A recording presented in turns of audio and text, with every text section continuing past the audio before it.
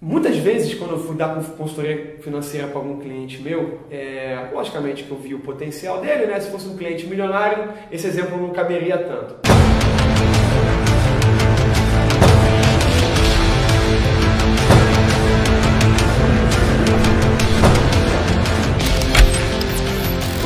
Como milionários são poucos, é, todo mundo tem aquela velha, aquela velha vontade, aquela de falar, cara, putz, meu sonho é ter meu primeiro milhão.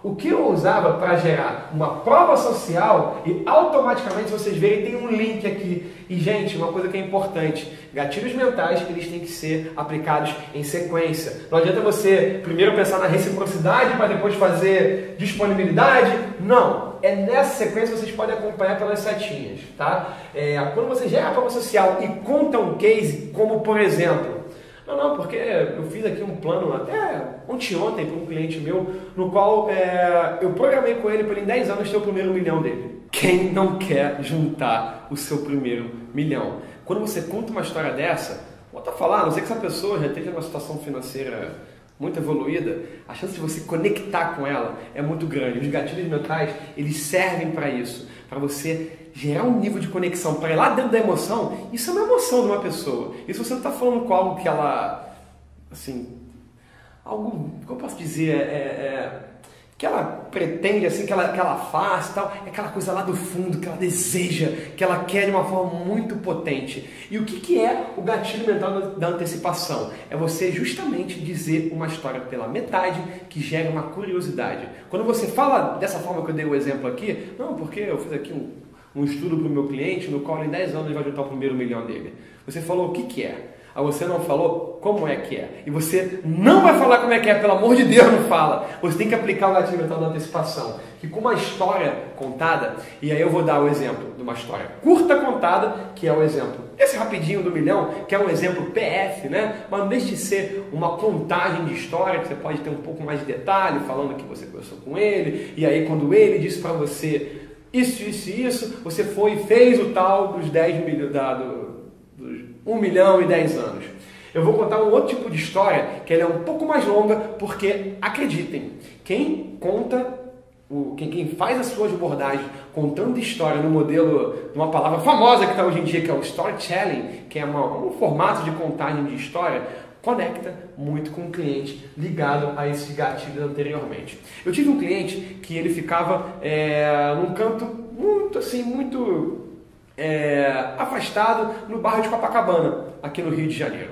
É, esse cliente ele tinha essa loja lá mais ou menos há uns oito anos, né? Uh, e daquela mesma forma, não muito bem, não muito mal, levando como muita gente aí vai levando aí, brasileiro guerreiro não desiste nunca. Só que o que aconteceu? Eu visitando ele com alguma frequência, ele trabalhava no ramo de roupas. É, eu percebi que ele não estava muito ligado com o tema de marketing digital. Falei, cara, por que você não se posiciona na internet? É, você está aqui há oito anos, mesmo com a dificuldade, passou por algumas crises aí, quem viveu no Brasil nesse período sabe. Uh, e, caramba, tá aí, tá vivo, não tá melhor do mundo, tá até capengando um pouco, mas tá aí. Por que você não aproveita essa tua história e você vai à internet e começa a ver se aquilo serve para você. Bom, os meses se passaram, ele sem me contar com muitos detalhes, ele começou a estudar e um certo dia ele me ligou.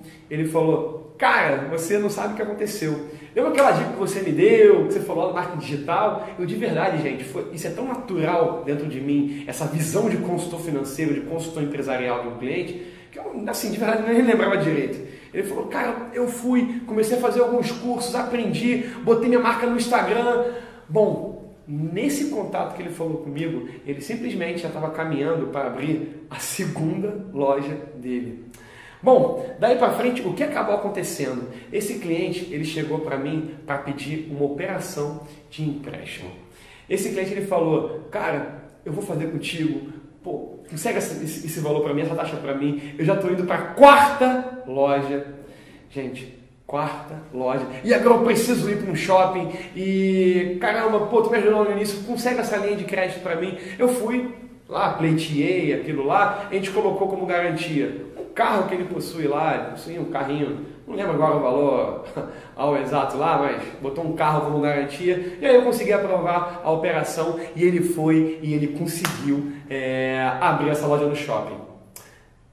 Desculpa o francês, mas deu merda. Ele foi, ele depois de ter crescido nesse patamar, ele foi inventar de dar um passo muito grande e acabou não dando muito certo. É, ele botou as outras lojas em jogo porque todo o dinheiro que ele tinha, mais o dinheiro que eu emprestei, é, ele aplicou na montagem da loja, comprometeu as outras e aí podia, poderia todo aquele negócio que estava estagnado por anos, que cresceu e por um passo errado, basicamente ele quase quebrou o negócio, quase quebrou o banco também.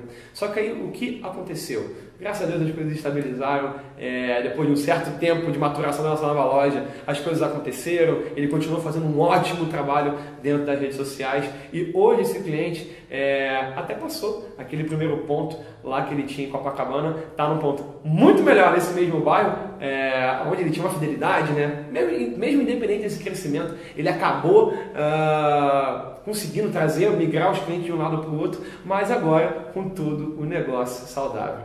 Legal essa história, né, gente? Você possivelmente deve estar lembrado de tudo que eu falei, é, a não ser que um detalhe a menos ou a mais, é, que é normal, o ruído da comunicação, do que eu disse. Por quê? Eu contei uma história para vocês. É, uma história, a, as histórias conectam. Se você perceber. Uh, séries, novelas, filmes, são contadas dessa forma. Por quê? É a forma de prender a atenção de uma pessoa. Então você, ao lidar com seu cliente no dia a dia, seja com histórias curtas ou essas um pouco mais longas do que eu te contei, conte as histórias, porque vai ser isso que você vai, de novo, fortemente liberar a prova social da seguinte forma: caramba, ele tem uma autoridade, ele faz isso com as pessoas. É... Pô, legal a história que ele me contou. Será que isso serve para mim? Galera, se nesse quarteto de gatilhos mentais você liberar essa pergunta, será que isso serve para mim? Cara, está no caminho certo. E volta a falar, até aqui você não vendeu nada. E é assim que se tira esse cliente daqui, vai para cá. Você primeiro você pega a confiança dele.